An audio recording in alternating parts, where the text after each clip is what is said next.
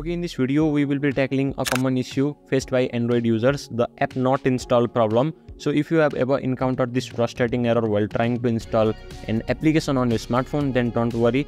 I have a strong solution for it. Before we dive into the solution, let's briefly understand what causes this problem on your Android phone. So this kind of error typically occurs due to a few common reasons such as incompatible app versions or insufficient storage or maybe you have downloaded the corrupted apk files okay to fix this problem the first step is you need to enable unknown sources so you have to make sure that your android device allows installation from unknown sources to do this setting you need to go on your phone security or privacy or you can directly just search for install unknown apps.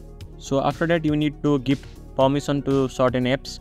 For example if i am uh, going to install an application from my files then select my files and you need to give it a permission. So just turn on the allowed option. So after that the installation may work. If not try the second option so again move to the settings and search for google play protection. And then you need to tap on uh, google play protect. So after a while you will be welcomed in google play store.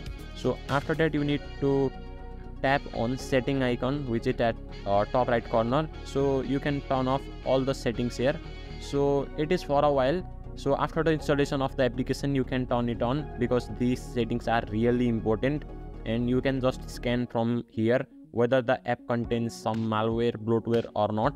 So after that the next step is make sure you have a sufficient storage. So sometimes insufficient storage may also lead this kind of error. Delete unnecessary files uninstall unused app or move your important file to external storage if you have storage problem. So uh, in some condition this uh, may also play a vital role for example i have uh, yeah i have space so i can easily install the application. And the next one is check the app compatibility. So being an asian this kind of word are so hard to pronounce. So double check the app compatibility with your android version. Some apps might not be compatible with uh, older or newer version of your android phone. So ensure that you are downloading the correct version for your device in the final case. So in some condition the app may install but your app would not be open or run in your phone. So in that condition just hold that app and go to the app info and clear its cache and data. And the last tip is that you need to try to download the same application from the another sources.